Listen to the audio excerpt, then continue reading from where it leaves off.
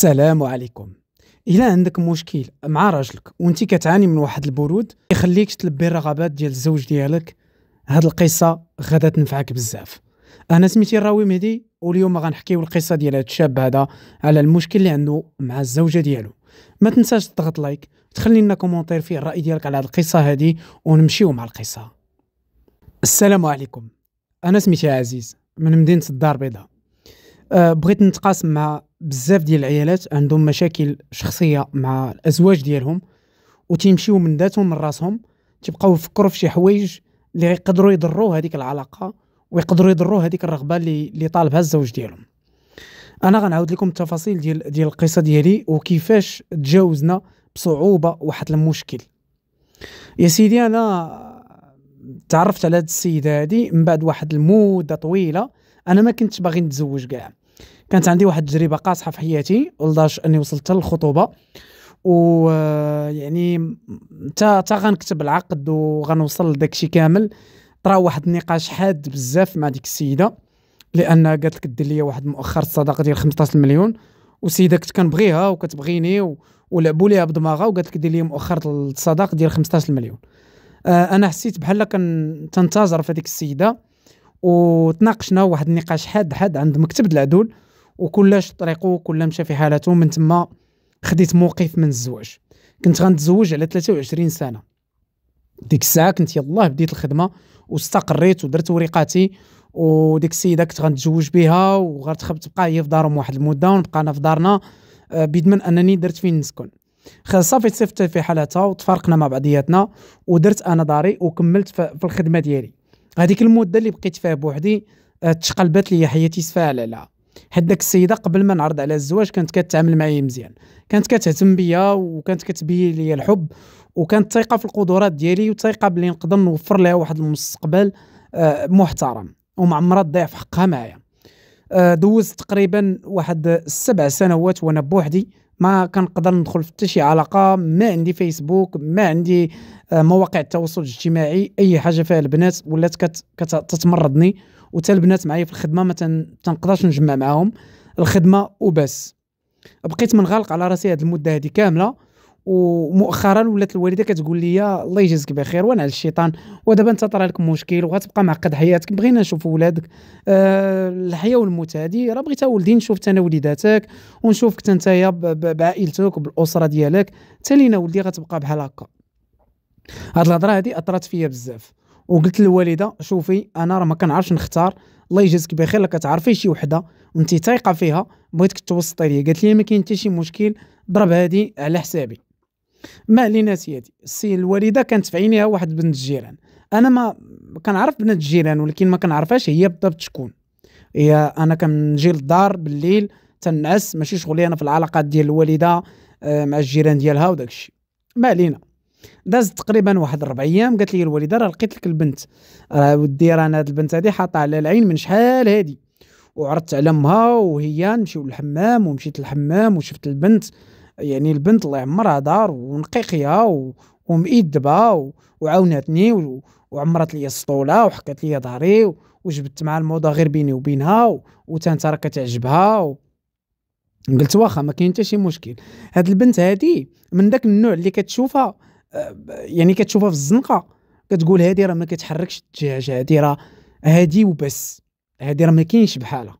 كتشوفها كيبانوا عليها المعالم ديال الأدب والاحترام وعاطية راسها قيمه ما علينا سيدي قلت لها ما كاين حتى شي مشكل هضري مع أمها. شوفوا لا رصيتو شي شي قضية. يعرضوا عنا شي نهار ونمشيو نشوفوا البنت. داكشي اللي طرا. فعلا اتصل بيا الأب ديالها. الأب ديالها يعني ما عنده حتى علاقة بالوالد ديالي وداكشي. اتصل بيا آه مرحبا كذا مرحبا سي عزيز كذا راه هضرات معنا الوالدة ديالك. والله يدير شي تاويل ديال الخير. ها نتوما اجيو عندنا نهار الخميس راه نكون ما خدامش. اجيو عندنا ومرحبا بكم. فعلا هزيت الوالد والوالدة وأنا وتقدينا داكشي اللي قسم الله ودرنا فاول عندهم. رحبوا بينا حطينا داكشي البنت الله يعمرها دار درت معها الرؤية الشرعية عجبتني. الدريرة وبيبطة وزويونة وما كتهش العين. آه قلت هذه غنقدر نتفاهم معها ويعني أنا صافي تناسي داك المشكل اللي كان وقع لي شحال هادي. الوالدة اللي كانت زعماتني. قلنا بسم الله وتوكلنا على الله.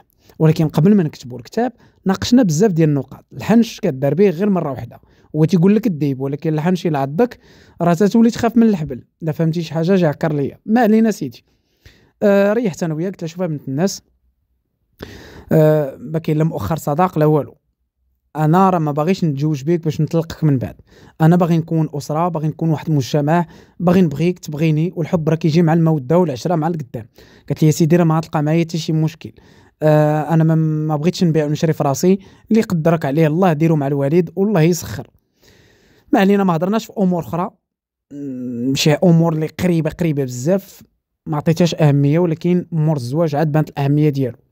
درنا العرس قادينا الأمور آه مشينا للوطيل دخلت على البنت بنت باقا بالعذرية ديالها. ما كاين حتى شي مشكل في هادشي هذا ما كاينش ابدا شي مشكل. بدينا الحياة الزوجية ولكن حتى ديك اللحظة اللي غندخل عليها آه لقيت صعوبة. يعني صعوبة بزاف حيت هي كتحشم وما كتبغيش شي واحد يقرب ليها وما عمر شي واحد قرب ليها لدرجة ان شدها الرهاب. يعني بعد محاولات كثيره كثيره كثيره بزاف باش أننا وصلنا لديك النقطة. بدينا الحياة الزوجية يعني من بعد هذاك الثلاث أيام اللي دوزنا أنا وياها آه، جينا للدار بدينا الحياة ديالنا عادي كأن شيئا لم يكن. أنا سنوات ما ما مارست. مجوج حلالا طيبا عندي مراتي في الدار. وكتحمق ونقيقية وغزاله أي واحد يعني عنده مراه بحال هادي ما غيشوفش بلاصة أخرى في الزنقة. أنا كنت حارم راسي سنوات وسنوات. ملي كتشوف داكشي عندك illimité في الدار تقدر دير وقت ما بغيتي ما كنلقاش تجاوب مع الزوجة ديالي. كان عندها واحد البرود من بعد ما تفتضات يعني هذيك البكرة ديالها أسيدي السيدة بردات. كأنني مع جماد. ما كتحرك ما والو. حاولت تناقش مع الموضوع قلت لها شوفي راه خصك تعاوني معايا وخصك تحركي انت راه ماشي كن كنحس براسي بحال أنا اللي اللي مسيطر ما كتجاوبي معايا.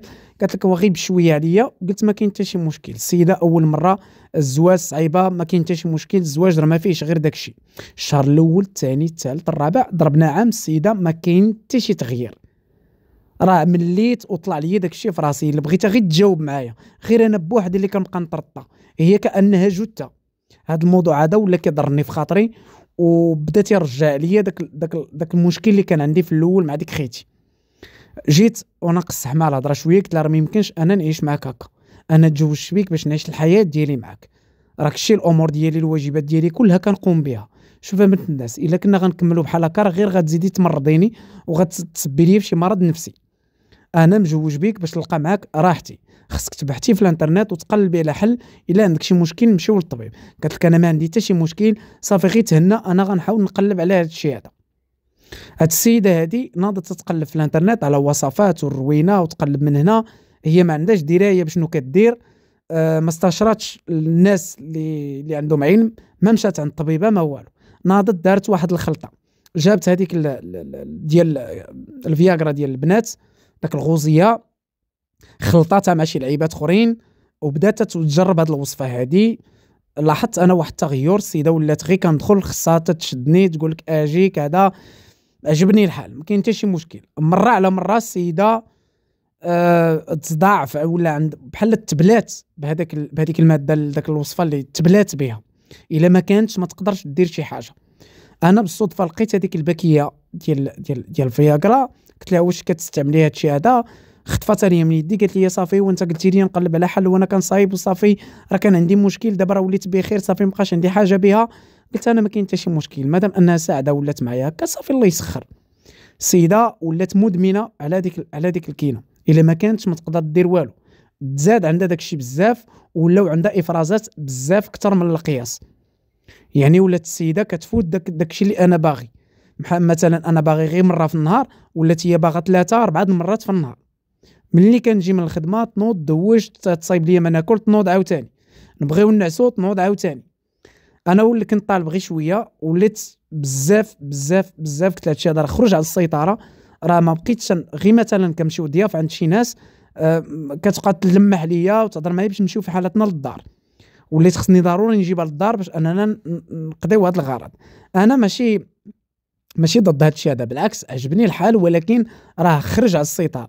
بعض المرات أنا كنجي عيان للدار آه تيكون عندي الجهد غير مرة واحدة هي كتبغي ثلاثة أربعة بعض المرات تتفيقني من الناس كتقول لي نوض.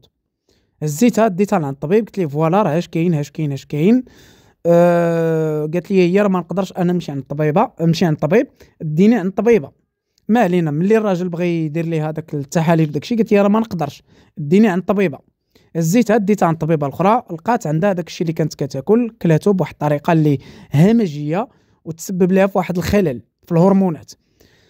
دابا ما بقاش عندنا مشكل غير ديال الرغبة المشكل ديال الإفرازات اللي تزادوا عندها بواحد الشكل كبير كبير كبير بزاف وخربق ليها حتى آه العادة الشهرية ديالها. هنا ولينا في مشكل أخر.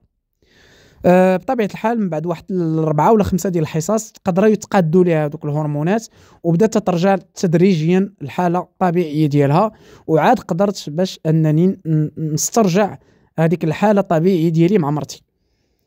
الحمد لله. إلا كنتو كتقلبوا على شي حاجة خصكم تشوفوا بعدا واش داكشي كيوافقكم نتوما. وأول حاجة تعرف فين كاين المشكل. ماشي غير انت عندك مشكل راه يقدر يكون هذاك المشكل السبب ديالو شي حاجة أخرى.